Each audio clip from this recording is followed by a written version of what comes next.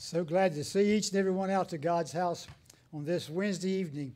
I was trying to think today, it used to be called prayer meeting many, many years ago. It used to be uh, called uh, Wednesday evening service. It used to be praise and song service. Whatever you want to put on the title of it, it's still Wednesday evening. Still time to go to church. And I'm glad that I'm glad that time has come around so we can be, be all together this evening fellowshipping with our brothers and sisters in Christ, looking out and, and seeing the masked bandits, as I call you. Now that's not that's not a good day. Good good thing is it. But anyhow, masked people. Oh, that that's much better, Rich. I'm glad you put all that over your face. That way we don't have to look at you. But anyhow, we're glad you're here and uh, here to have a good time in, in God's house to fellowship. Just just to show that we love each and every one here tonight, and, and I know you love me too. Those out on the internet, we're glad, we're glad you're here with us this evening also. We hope and pray that you've had a good day and you're ready for some good singing and some good preaching. After all, our brother will be here to, to bring our, men, our message to us. We're here to sing his praises. And we're going to ask Brother Rich to ask God's blessing on this evening service. Brother Rich?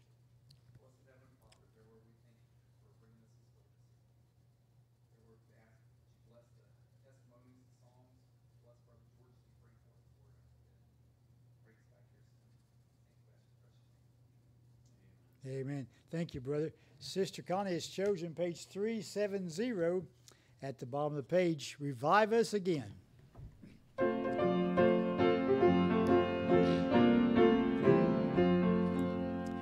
praise thee, O God, for the Son of thy love, for Jesus who died and is now gone above. Hallelujah, thine the glory. Hallelujah. Hallelujah, thine the glory, revive us again.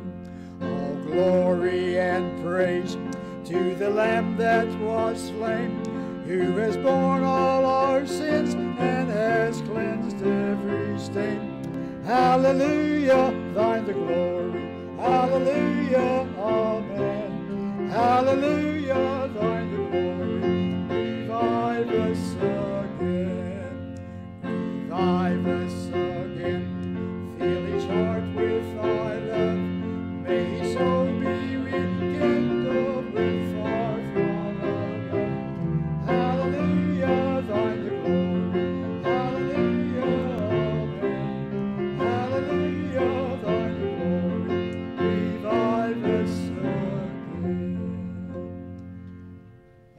look out across the congregation, there's many smiling faces that we don't see this evening. There's a lot of sickness all around us this evening. I notice our dear pastor's wife is not with us. I ask you to remember her this evening as we pray. I look back and Brother Roy's not with us this evening. Uh, Sister Jan's not with us this evening. There's a lot of us that's not with us this evening, but you know, God is here, and that's what and we want to lift Him Amen. up in, in song and in praise this evening. So, because He is so good to me, and I know he's good to you. We went to the funeral home today to pay our last respects to a dear lady that we've known for many, many years. Matter of fact, Sister Suzanne used to be the pastor's wife here. Brother Don Patrick and Suzanne was our pastor here at Long Run many, many years ago. She passed away the other evening. We went up to see her. And I know the family's taking it hard this evening, saying goodbye to the mothers So let's lift up the Patrick family also this evening as we pray. You may have a prayer request that we can lift up to Jesus this evening. Charlie, I'd like for you to pray for a man named Joe Ferguson. He is in Upper Sandusky. Uh, I talked with a couple of his sister-in-laws earlier today, and they said that he had some cancer that the doctors had found. And uh, they wanted us to remember him tonight in prayer. Amen. Remember that request this evening, Brother Joe, Sand, up, up in Sandusky this evening. And continue to remember Tammy as she's waiting to, for her surgery and, Amen. and uh, also our daughter-in-law, she had her hip surgery and just remember her. Amen. Remember those two requests for Sister Connie this evening? Someone else. Someone else, of course. Remember. Amen. Remember Helen's brother this evening as we pray. Someone else. Someone else. If Remember not, our pastor. Yes, remember our pastor. I know he's bearing a heavy load, and we certainly thank him for bearing up under this this uh, thing, helping us through through our t- troubles and trials here in this life. Somebody else. Somebody else. If no other, Brother Jim, ask God's blessing on these requests. Our Heavenly Father, we come to you again tonight, Lord. We thank you so much, Father, for this hour that you've given us. Another day, Lord, this side of eternity, God, that we can come together and enjoy each other's presence tonight, to fellowship one another, to give you praise and glory, Lord, because you're the only King of heaven and earth, the only one true God of heaven and earth tonight.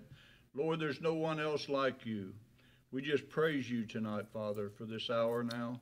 God be with us. Be with those, Lord, out there and, in uh, the airways, Father, on the airways. God, touch their hearts tonight. Be with those that are sick and afflicted, those that's not feeling well. Lord, you know who they are. You know them better than what we could uh, imagine what they, they're going through. So, Lord, we, we just praise you. And we know, God, that you're able, Lord, to touch them both physically and spiritually tonight. Lord, for those, Lord, that need touch from a sin sick soul, we know, God, that you're able to do that. Through the blood of Jesus Christ, your Son, God, we know, Lord, that He has paid it all for us. His blood is is uh, so valuable, Lord. It, it, it brings us into a, a long lasting relationship with you. If we just believe and have faith in, in our Lord and Savior Jesus Christ and what He's done upon the cross. Tonight, fathers, we've come now, bless each one that's here tonight. Bless each song, each testimony, Lord. May you receive the honor and the glory and the praise from everything that we say and Yes. do, Lord. It's not about us, it's all about you. Amen. We thank you, Lord. Bless the word tonight. It's already been said from Brother George. Thank you, Lord, for everything. In Jesus' name, amen. Amen. Well, we're pa- turning to page 265 for the next selection this evening. I had the privilege of talking to the Hildebrands last evening, and they uh, they send their love to us and wish they could be back in, in God's house, and we wish they would be back shortly to, But due, due to some physical ailments, they, they've been advised to stay away. So we understand that. But remember the Hildebrands as we sing page 265 Love Lifted Me.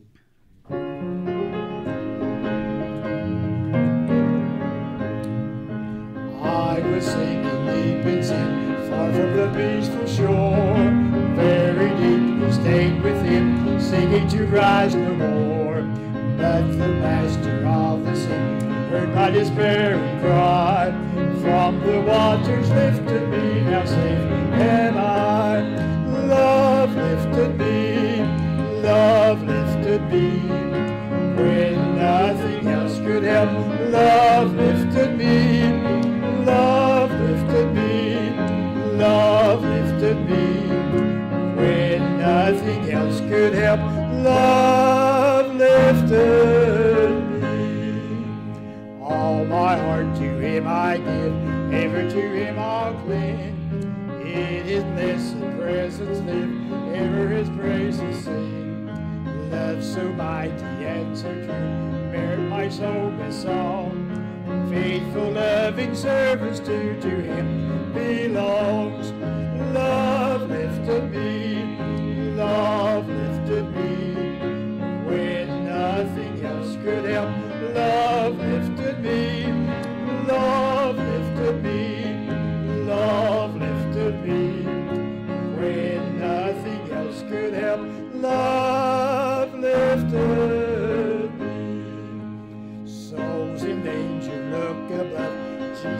Jesus completely saves.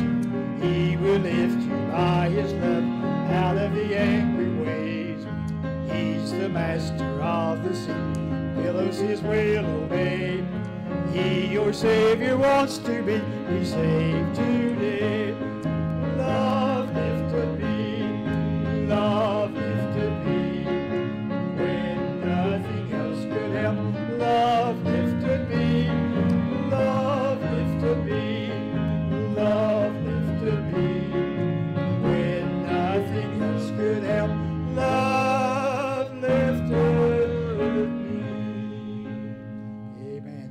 Aren't you thankful for the love of Jesus this evening? You may have a song out there you want us to try to sing this evening, since that's the only two s- Sister Connie chose. Somebody out there with a favorite this evening. Anybody? Anybody? You do number six? Yeah, I wanna know more. Page six this evening. I want to know more about my Lord.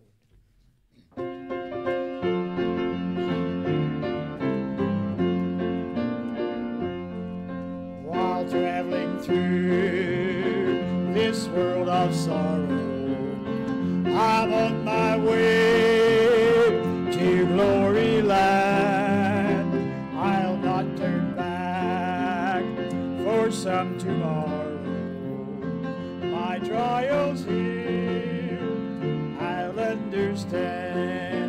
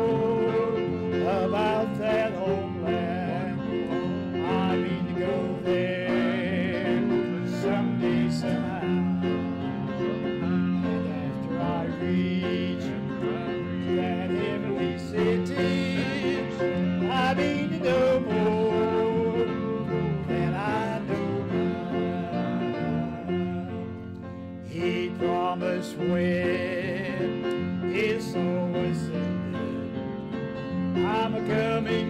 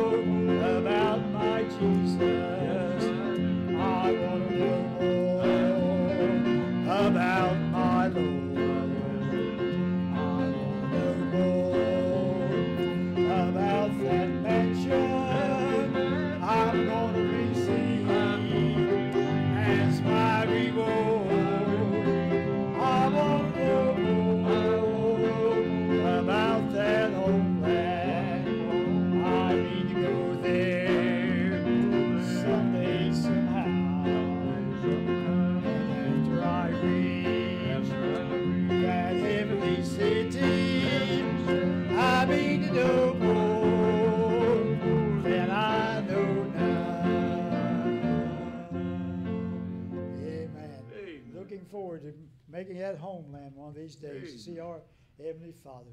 Somebody else maybe with a special song this evening. Special request. Anybody at all? Connie, you got another one? Page 179. Fill my way with love this evening.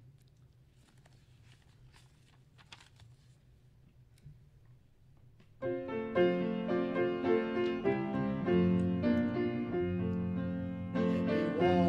blessed Lord, in the way thou hast gone, leading straight to the land above, giving cheer everywhere to the sad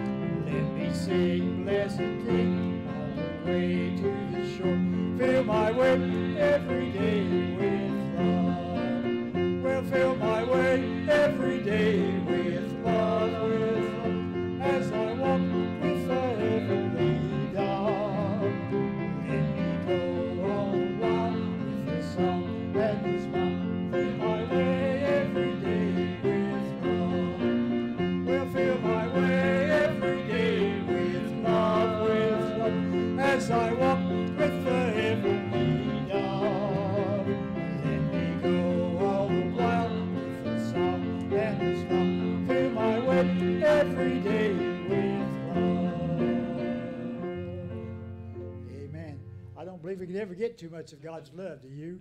Let it show from the lost uh, that you come in contact with each and every day. Connie, you and Jim got a special this evening? Jim does. Jim, come on and sing for us this evening.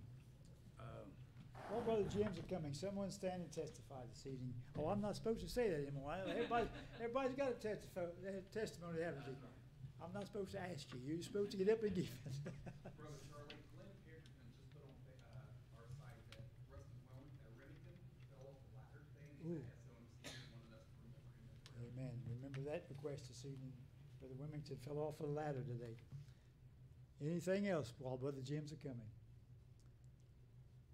There'll be much in prayer for our brother as he comes and ministers. Charlie, I just stand up to Bless you, Mike. uh, I love the Lord, how, how much he does for us. And, You know, when you wake up every morning and you look around and see a beautiful day like we had today. Amen. uh, You know, Lord bless us all. You can have all the insurance policies you want, but you got that insurance policy, that assurance policy. that That's right. He's gonna, I'll get it right in a minute, assurance policy that, that he's gonna take care of you, he's gonna guide you. And one, I talked to my son a little bit last night, and he kept saying one thing, he said, you know, Dad said, the Lord's gonna give you chances to talk to people. He said, what we need to do right now is be about the Lord's business and start spreading the word that, you know, if, if, if the Lord's there, he needs, he wants to save everybody. Not, right. he's not gonna pick and choose, he's gonna save them all. Amen. But you gotta ask him for help. You know, love the Lord, I think of the thing that he does for us every day. Amen. I got one song request, I can't, s- I can't sing a lick, but I like the songs. And one song uh, is, uh, that I really, really like is In the Garden. And it used to be in the songbook here a long time ago, but it got lost. So if you could ever find it, I'd like to sing it sometime, We'll certainly find it. favorite song. You'll certainly find that song. I think probably Sister Collins probably got it already, those words set. There'll be much in prayer for Brother Jim as he comes this evening.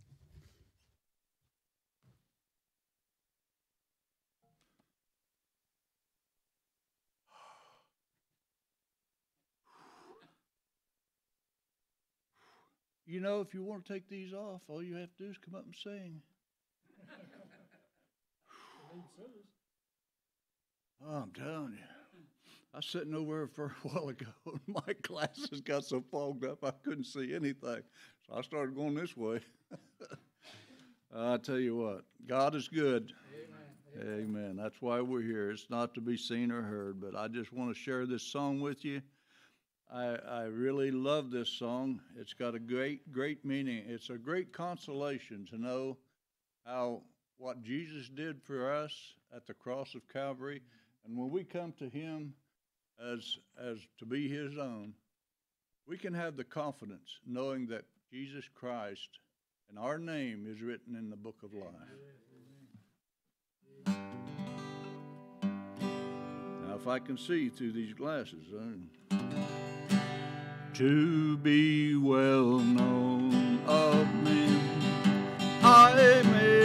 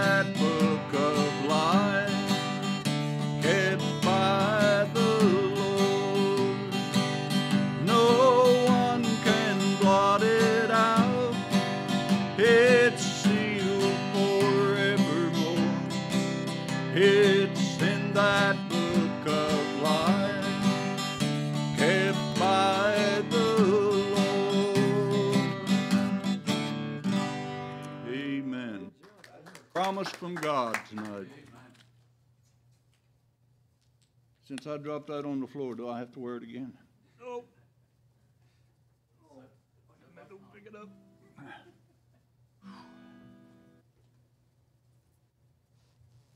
Thank you, brother. What a great song. Great job. Someone else this evening. Anyone else with a testimony or a song?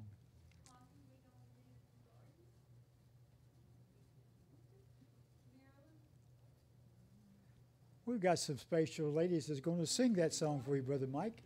I, I thought they knew it, but I wasn't going to. Well, we always sang in the nursing home, What we gonna do? in the garden. You can sing it again. and I had While they're getting ready, someone stand and testify. everything on it, in the, maybe that blue one, This down here, Connie, this one, what, the top one, top one here? the thing. Well, I'm certainly glad to be in God's house this evening with God's people. You know, as as Brother Mike said, it was it's been a beautiful day. Got a lot of things accomplished down through this day, and you know, God knows exactly what we need to do and when we need to do it.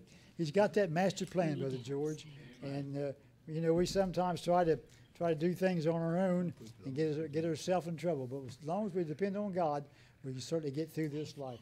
Be much in prayer for these ladies as they sing this beautiful song, and it is a beautiful song that uh, that uh, has been sung in, in churches for many, many years. In the garden.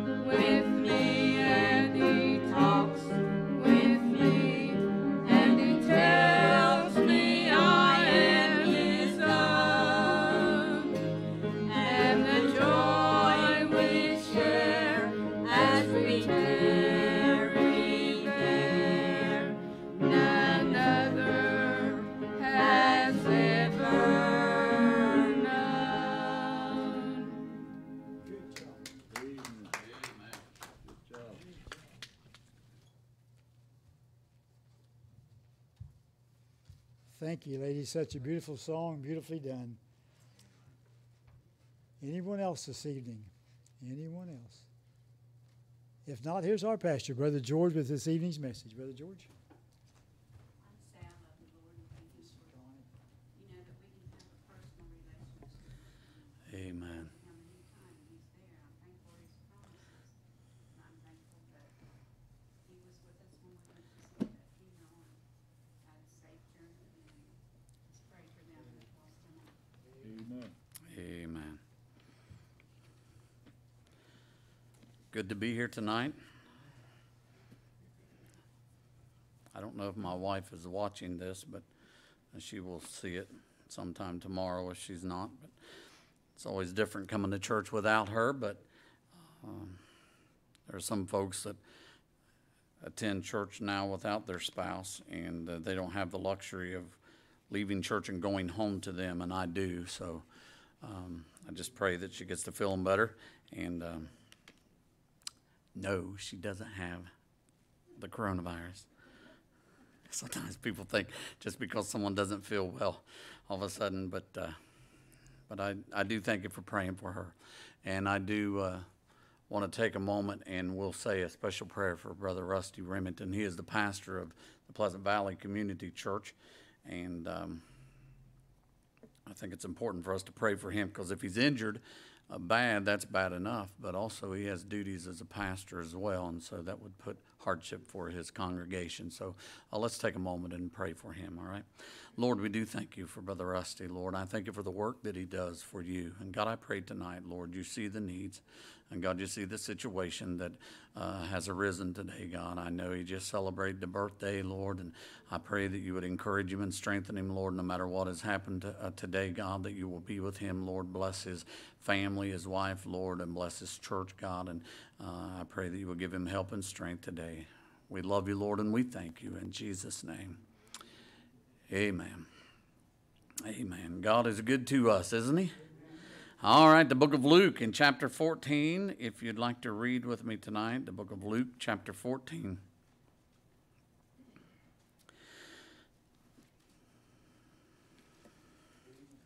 It has been a day. I like what one of those people said one time uh, if you've had a bad day, uh, just thank God at the end of it that it's over and uh, you get another one tomorrow. Um, I think it's dangerous to complain about bad days too often, you know, because they could get worse. There's a lot of things we need to be careful how we uh, uh, conduct ourselves or the things that we say because there's always an opportunity for something to be worse than uh, what it is. So we just need to be thankful for what we have.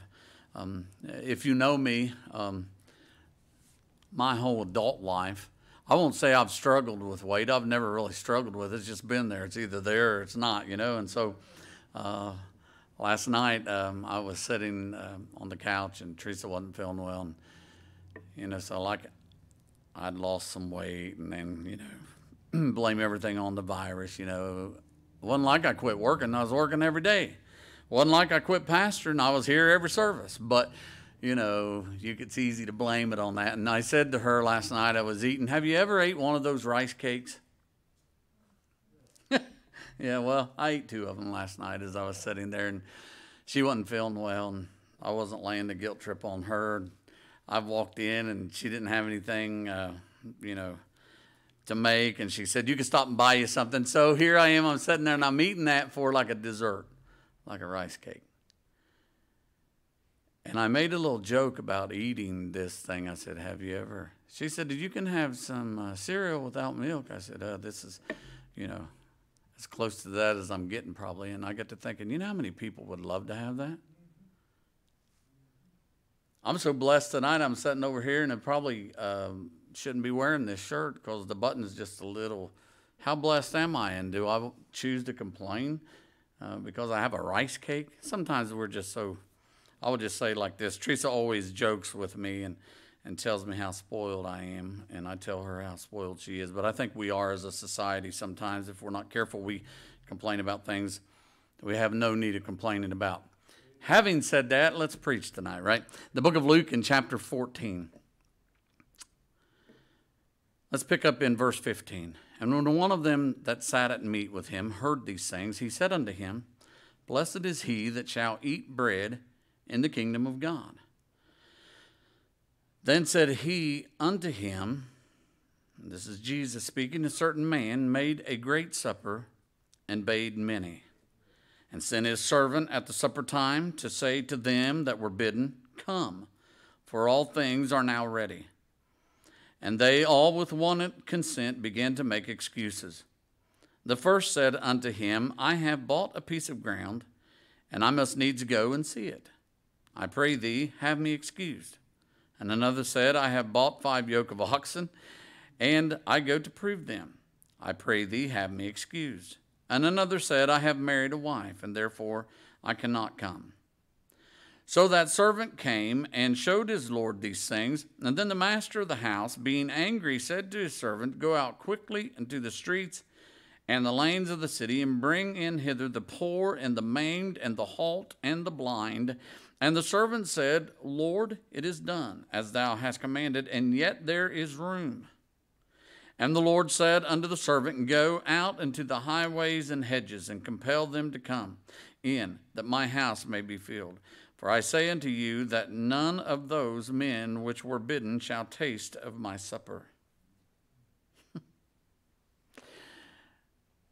when you read this scripture, I don't know what are some of the things that pop into your mind and some of the things that come to you, but um, it says this man made a great supper and he asked a lot of people to come.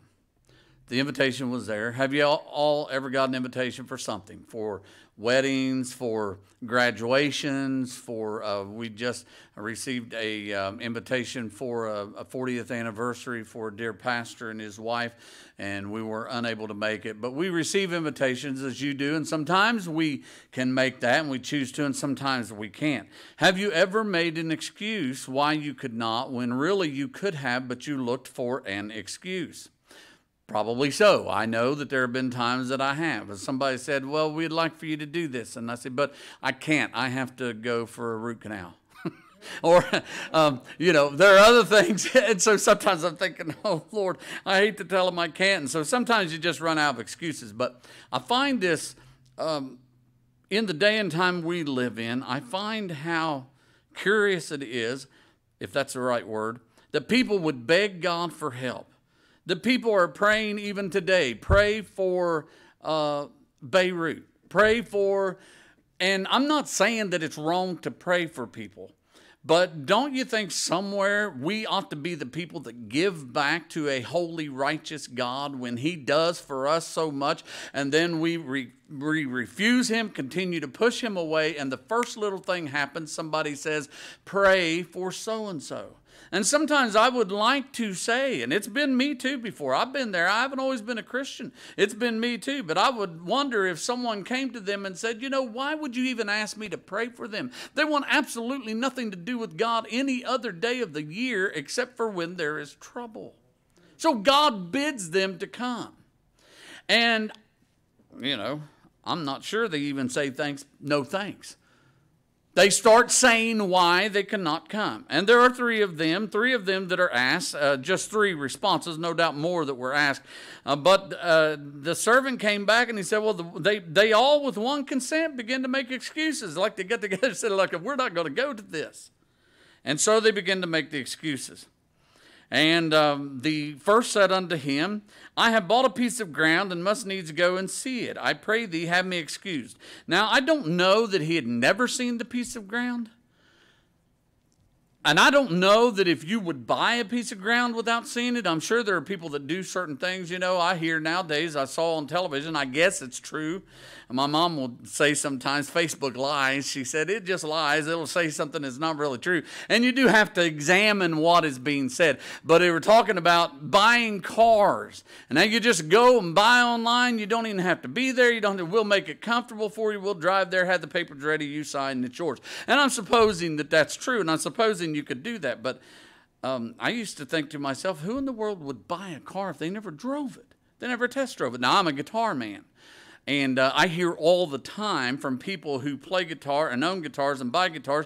I always hear people say, I would never buy a guitar online that I couldn't play, Jim, because even if it came off the, the out of the Martin factory and you're a Martin man, some of them have different sounds than others. They may be the same year, they may be the one right after the last one that just got put together, and there it is, but they may have a different sound. And so I wouldn't say that this fellow really never saw the land uh, but if he bought it, couldn't he have went any other time? He owns it now. Couldn't he have went to this great supper? He chose not to go. It wasn't that he couldn't. He chose not to go. And so what is the next thing? It says, I have bought five yoke of oxen, and I go to prove them. I pray thee, have me excused. Could he not have proven them before he bought them? And they're his now. And so, if they're his, if he uh, has bought them, and, and the scripture says that that was his own words I have bought five yoke of oxen. If they're his, can he say to his servant, Put them in the barn and I'll check them out tomorrow? I'm going to this big shindig tonight. But he didn't. So he made his choice. So there are two people that made their choice. And another said, I have married a wife. Oh, my lands. Would that get you in trouble tonight? Especially when your wife's not here. That wasn't his excuse was he was using her for an excuse. I have bought a wife, or I have bought a wife. I have purchased a wife. I have bought, he says, I have married a wife. And all of a sudden, now it's put the possibility on her. I have married a wife, and therefore I cannot come. And why is that? Some of you men, I'll try to stay out of this, but did you ever say, I don't need my wife to tell me what to do? I don't need my wife's permission. There's not many people here tonight, but I just saw a sideways look from one wife to a husband. it, and it jokingly is, uh, I'm the head of the family and she's the neck, right? And the neck turns the head. And that's the big joke. But how many times, if this man would have been honest and would have, he may have been honest, said, I can't go because if he's going to marry someone, he may have already knew who he was marrying before he married her, and he may have understood that she's made plans. And but anyhow, he chose not to go. So three excuses from these three people. Doesn't say about the other people, but these three people, three excuses, and they all had an opportunity to be at this great supper, but they didn't go. They didn't come. Now, what happens when you have a good church service and you miss it? And the next time you walk in the door, someone says, Oh, you missed it, Brother George. You should have been here. because you're the pastor. Yes, you should have been here. But if they ever say, Oh, you really missed it, you should have been here. It was a great service. Man, they were shouting. Man, they were, it was great. I wonder what happens here after finally he says you don't even don't even let them come they had their chance don't let them come i wonder about the next day after this it doesn't tell us what happened but i wonder did anybody say wow Oh, you got something on your shirt there. Oh, that's probably some food I spilled last night. There was a great supper and I went to it and it was fantastic. But they all made their excuse why they couldn't. So that servant came and showed his Lord these things. And the master of the house, being angry, said to his servant, Go out quickly into the streets and the lanes in the city, and bringing hither the poor and the maimed and the halt and the blind. Now, these people weren't the people that were chosen to come in first, but he said to bring them in. And the servant said, Lord, it is done as thou hast commanded, and yet there is room. What, what does that tell you? If we were looking at this and saying that uh, if we could put this and place this as like the marriage supper, if we could look at it that way and say hell enlarges itself every day, uh, but the dimensions of heaven are set, there is room for people. And Brother Mike said tonight that his son was saying that it is important for us, it is our job to let them know whosoever will, they can be saved. It is our job.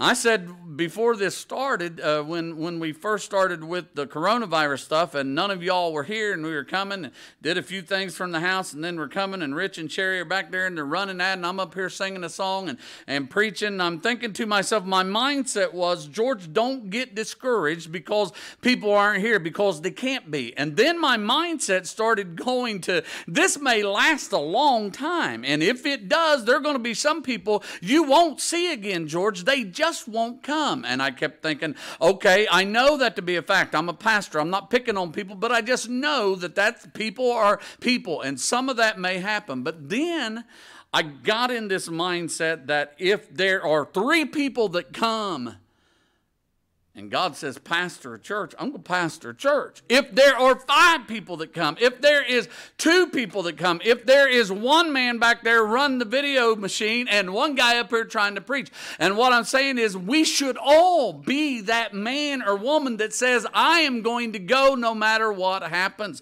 I'm not talking about just going to church, folks, but these people had an opportunity to go to one of the greatest uh, get togethers they would ever go to, and they all passed it up. And finally, the Lord said unto the servant, Go out into the highways and the hedges and compel them. So he's saying, Go out and bring them in. Do everything you can do to bring them in.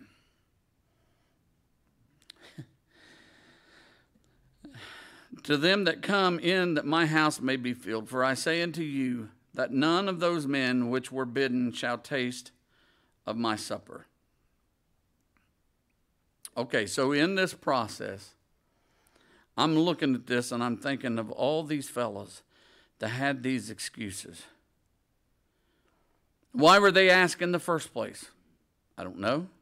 I don't know why that it was these people that were picked in the first place and that those that were sick and halt and blind and, and maimed were picked second. And then finally of the hedges and the highways i guess just bringing in just like going out in the cornfield and trying to glean. They were getting everybody they could get. But these people that had the opportunity first could we look at it as the israelites? Mm-hmm. Why? He came into his own. His own received him not they said, Nah, I'm too busy. And so then the master gets angry and he says, Then go what? I'll tell you what I'll do now. I'll turn to the Gentiles. Yes, we could look at that. And exactly what happens. And then what? To whosoever will is what he says. Whosoever will. And so in this whosoever will, we look and see that anybody that was willing to come could be a partaker of this. I want to try to tie something in here tonight. You remember Peter said, uh, Lord, I will go with you even unto death. I'm not like any of these other fellows. I'll go with you. I'm thinking tonight on my way home from work, I'm thinking how great it must have been, and they didn't even know how great it must have been for the Lord to handpick these men that walked with him. And one of the fellows at work this morning did a devotion, and he was speaking as he did the devotion, uh, talking about uh, Judas, or maybe it was maybe it was yesterday. And as he was talking about Judas, he was talking about uh, the other disciples may not have understood fully who Judas was, but Jesus knew who he was. The other disciples may have looked at Judas and they saw Judas do the, some of the same things they did. And even at the Last Supper, when he said, "One of you will betray me," they all started saying, "Is it me?" If they knew it was Judas, they would have just said, It ain't me, it's him. But they didn't, evidently. And even Judas said, Is it I? And it was. But guess what? It was all of them to a certain extent. Now, they didn't betray him as Judas did to sell him, but they all forsook him and fled. But if you look at Peter before the Spirit, it was easy for him to deny. He made the statement that he never would, but it was easy for him to. The invitation that is given out here in the book of Luke, that is given out here, I look at this and I think to myself, the Spirit of the Lord will be what draws a man or a woman to Him. Do you know how many people that I have asked in 30 years of attending church, how many people I've asked to come to church? How many people have you asked to come to church? And what is the purpose of people coming to church for in the first place? So we can get a bigger number on the board, so we can get more tithing? It's not any of those things. So what is it? The bigger number on the board means there are more souls in the seats. And the more souls in the seats means that there are more people can hear the word of God. There are more people that could be saved in a building, but they don't have to be in here to be saved. But they could be. But this is a place to rejoice and to worship God. This is a little bit of heaven on earth. Because when we leave these doors, we go right back out into the world. I love people out there. But not everybody out there, and sometimes not everybody in here, has the same mindset or heart set that we should have for the Lord. I love people out in the world. Don't get me wrong. I'm not, I'm not looking and saying all those people are bad. I'm saying all those people are God's creation and they all, just like me, need to be saved. So what do I do? I can't go out there and shun them and say I want nothing to do with them. What do I do? Then I go out like this servant and say, You need to come. The master has prepared this great supper. You need to come. You know how many people are going to say, That's not my thing. And it, it doesn't say that they, that, they, that they didn't like this servant. It doesn't say they didn't like him. I think they're trying to let him down easy. It doesn't say that they even knew who the man was that made the supper. Doesn't say that they did, doesn't say that they didn't, but it just says they were invited. How many people get their feelings hurt because their family won't come to church? You got two times. I mean, we're all Christians here tonight, right? And all of you watching, maybe? You got two times to get your family into church house. When are those times? We know Christmas and Easter. And those are two holidays that the world, that the church world uh, says we've just commercialized those, and oh, I hate that time of year because it's nothing but, and I'm thinking, I love that time of year. I love Christmas. I love that time of year, and I love Easter. I love that time of year. And what better could you get as a pastor than you get people coming that you never see? You don't know their names. You don't know their first name. You don't know their last name, but the family begs them to come, and they come. Do you know why they come? They don't come because me. They come because you. so it probably tells me that some of these people, if they would have been family, they would have went to this supper. When the Israelites, when those that would stand around and would say to Jesus, we have Abraham for our father, and he said, God's not your father. He said, if God was your father, you would have known who I was. I don't think these people were interested in coming to the supper because they didn't know who was putting the supper on. You know what? I was never interested in going to church. I was never interested in going to church. When I was lost, when I wasn't a Christian, I understood there was church. I understood that my parents went. I understood that they weren't always Christians and then they were, and it was good for them and it worked for them, but it wasn't my thing. I didn't love God. I didn't love the church. I liked the church people all right. Some of them got on my nerves, and guess what? Big surprise. Some of them get on my nerves today. but guess what? I didn't know the Lord. And so I didn't say, oh, yeah, I want to come. Somewhere it has to be the Spirit of God that deals, that draws. And in this world we're living in, you're not their judge. I'm not their judge. You're not my judge. I'm not your judge. But I'm saying if the Lord sent today, if God said, go get your church, there are some people in churches around that may not go. Why? Because they have a head knowledge but they don't have a heart relationship. And these people right here, they weren't even concerned with this supper being, and they weren't even worried about going to this thing. It didn't mean anything to them, and it, re- it reminds me of people today. It reminds me of church people today, people who have been in church for years. Now, if you're watching this, and, and I know that there are people watching this who come here but haven't been here. I am not talking about you unless I am. Say, what are you talking about? I'm not talking about you unless God would say, hey, this is you. But I'm not saying you need to be in this building. And at one time as a pastor, my mindset would have been we got to do everything we can do to get them in, get them in, get them in. And now I'm looking, thinking we have never experienced anything like this. And so, God, I'm going to handle it the best way I can. I'm just going to sit back and say, whoever comes, can I go out and compel them and beg them? I mean, I put on Facebook, do you want to come and join us tonight in person or live stream? I'm tickled to death if there are people that are watching us online. If they don't feel comfortable coming or whatever, but what's really going to get to me is when no one even cares to watch anything online. I could understand that people don't come as much. I could understand that. But I said it in my mind don't get your feelings hurt. I don't know about you, but I'm telling you, as a pastor, that's a pretty good place for me to be. Don't get your feelings hurt if you don't get a bunch of people. I got pastor friends that I love, and sometimes I'll uh, scroll up on something or see how many people have watched their uh, message or something, and I think, you know, these are people that maybe have never been reached because they didn't want to get out.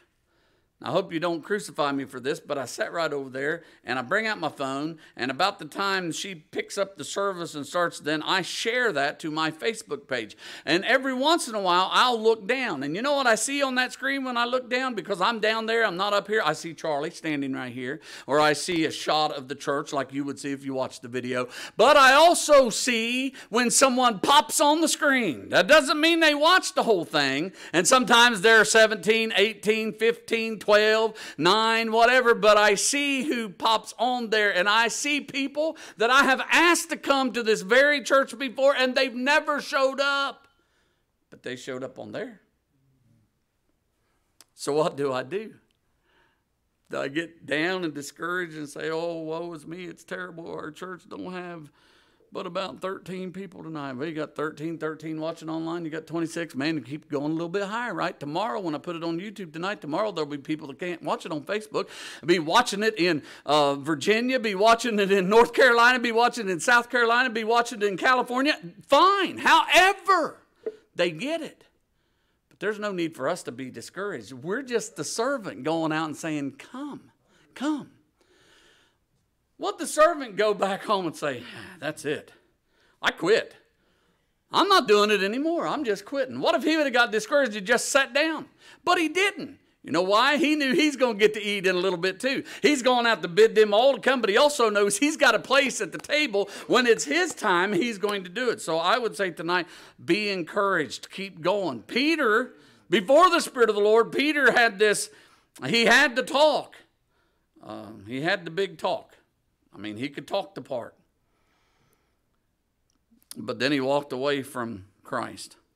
But after received the Spirit of the Lord, after Christ is crucified and he sends the Spirit back, Peter then with the Spirit, now he walks the walk. It's more than just talking the talk. Now it's walking the walk. So, what does walking the walk look like for me and you tonight as Christians?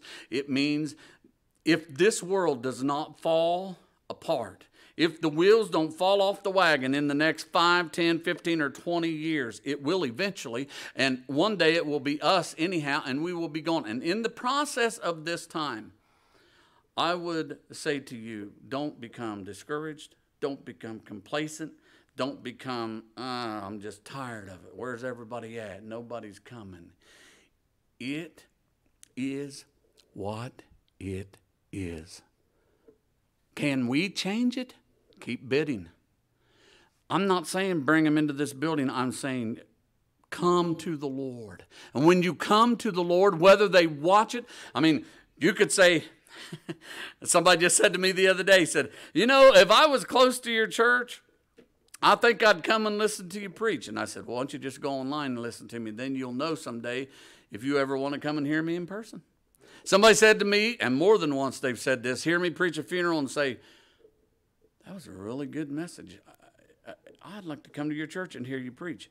And I always throw this out. I preach different at church in the pulpit than I'm going to preach at a funeral service. It just is different. Somebody said, I like your little morning devotion, and that's all right. I'm glad that they do. But even I preach different than even the little morning devotion. And sometimes the preaching of the Word of God offends people, and people don't like it, but guess what else it does? It is through the foolishness of preaching, God chooses to deal with men and women and to bring them to Him. So if we stop because of discouragement, then what? Then what about your family? What about your friends? What about those people that would come on the holidays or special services? Now, I don't know if I told you this, but once a pastor to church, and for the month of February, we had the Love Month. You know, we already know that uh, February for uh, Valentine's Day. I said, well, we'll have Love Month. And so one day we had Friend Day on a Sunday. And the next day we had a Because We Love You Day. And we had a meal each, each one of these, each Sunday. We say, You're trying to kill the church, Pastor. No, I was trying to build the church, is what I was trying to do. And I just thought, you know, somebody's going to have an excuse why they can't come one day, why they can't come the next day. How many people in your family are going to come up with an excuse why they can't come four or five Sundays a month when it's a special thing? And so I said, we'll have the Because We Love You Day. And then the next, we'll have the Because He Loves You Day. And I said, we'll find things to get people in the doors. And somebody always kicks against that. And I've already said it here, but somebody will say, well, sure Sure, you got to feed them to get them there. And I'm thinking, they got to eat anyhow. And so do you. Guess what? When they eat a hot dog, I eat one too. I got to eat anyhow. It's all right. Bring them in. However, but we won't ever be able to force them. And until the Spirit of the Lord gets them, He won't he won't be able to make a difference in them like he did Peter until he gets them in his grip. They may be occasional churchgoers. But occasional churchgoers, it's going to be easy for a lot of them to say, nah, I can't come. I'm not going to make it today. Nah, just forget that. I'm not going. Let me leave you with this. This is something that I've carried uh, for years. I scribble on things sometimes. I printed this up or typed it out. Maybe you've seen it or heard it. And I got to be honest with you, I don't know if this man's still alive. I don't know if this man's still walking with the Lord. I have no clue. But what I do know is I like what he said. And I think the only way to, ha- to have this and to hang on to it in our life is to have the Spirit of the Lord in us. Defending the faith, he says, I'm part of the fellowship of the unashamed. I have the Holy Spirit's power. The die has been cast. I have stepped over the line. The decision has been made. I'm a disciple of His. I won't look back, let up, slow down, back away, or be still. My past is redeemed. My present makes my present makes sense. My future is secure. I'm finished and done with low living, sight walking, smooth knees, colorless dreams, tame divisions, worldly talking, cheap giving, and dwarfed goals. There's a lot to be said right there. And so uh, if, if I went back over it, it could break it all down. But what he's saying is, I'm not playing church any longer. Then he says, I no longer need preeminence, prosperity, position, promotions, plaudits, or popularity. I was thinking tonight as I was sitting over there, how many singing groups would be pleased to come into a church with 13 people tonight and say, Well, we sing for a love offering, brother. We sing for a living. We want to come to your church. And I understand that. And yes, we have to. Yes, we have to say, This is what I want to. But how many times does Satan just get in their mind and say, ah, There ain't nobody there. Oh, you're wasting your time. Why would you even waste your time to do that? How many, how many people have you ever heard of that started out their singing career? Big time country music, rock and roll, whatever, started out where most of them start? In the church. Their mama, their daddy taught them. There was some talent. Mama recognized it, daddy recognized it, grandma recognized it, the PTA recognized it, Satan recognized it. They started in church. Why? Because everybody could sing in church, right? It's like, I want to sing. Now you can't carry a tune in a bucket. Stay right over there. No, we let everybody sing, right? So they got their start in church. But do you know not everybody's on the Grand Ole Opry? Why? Because they don't just allow everybody. I'm saying, come to the Lord. He will take you. Some people will push you away and push you out. And it's for our young people, sometimes it's way too late before they learn that, that they put all their emphasis, and I did, and maybe you did, on chasing after something that we cannot obtain sometimes anyhow.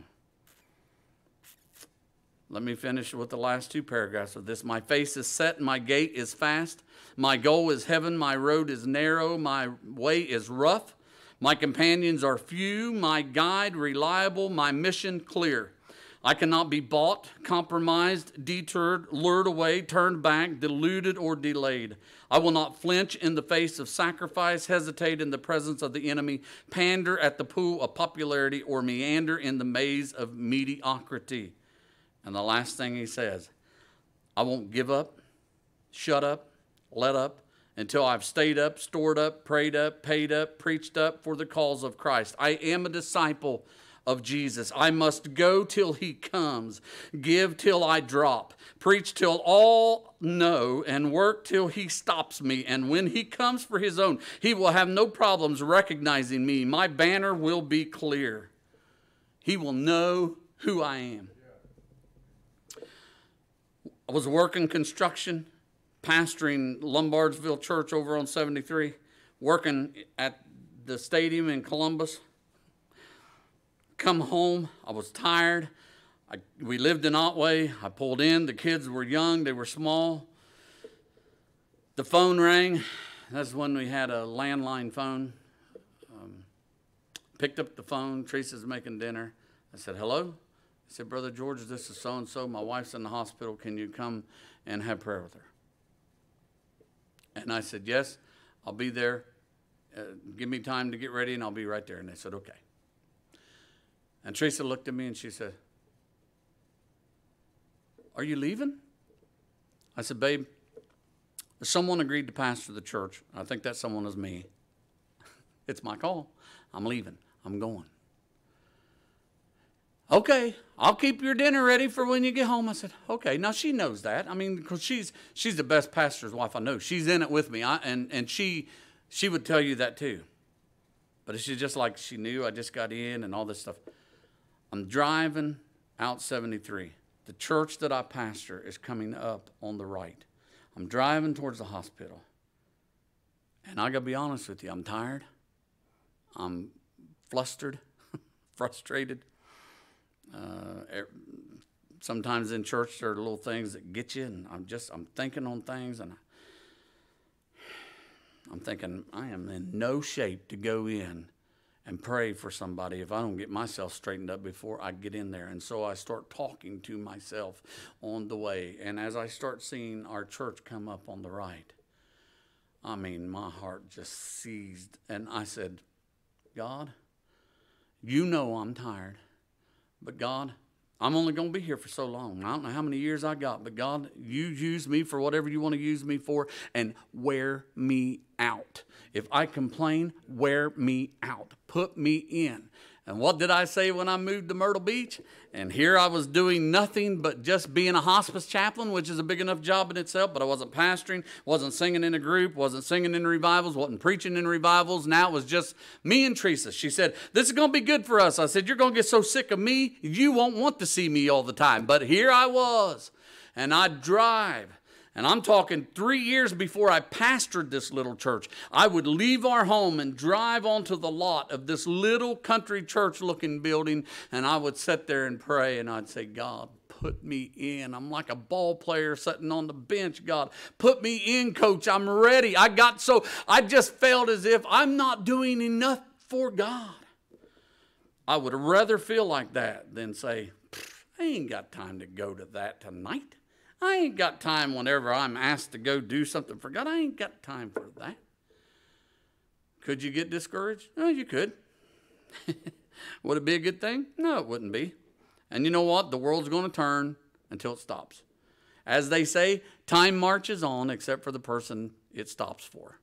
It does stop. It stopped since we've been in here for somebody. They've stopped. They're not breathing anymore. They're not living here anymore. It'll stop for us one day. Work while it's day.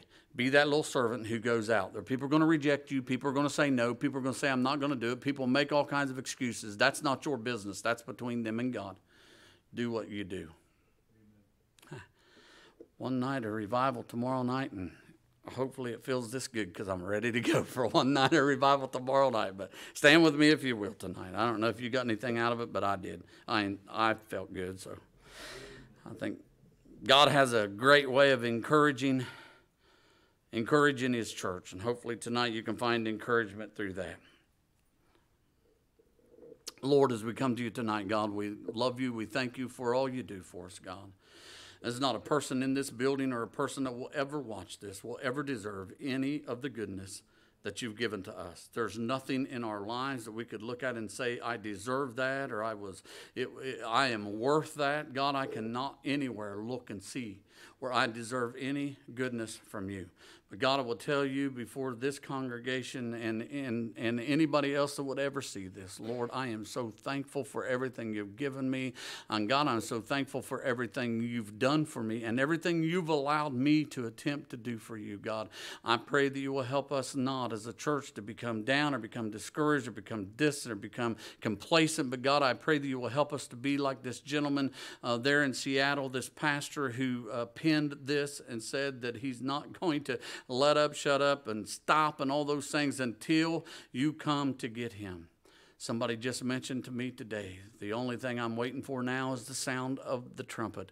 And God, I pray that you will help us to continue working until until the sound of the trumpet, until the Lord calls us home. God, help us to be faithful in your work. We love you, Lord, and we thank you for all you do for us. In Jesus' name, amen.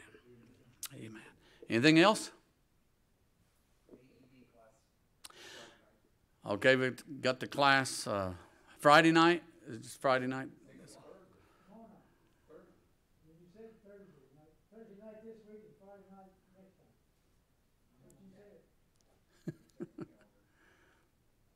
Okay, well, we'll decide why we're deciding. Uh, we'll see you. Hmm.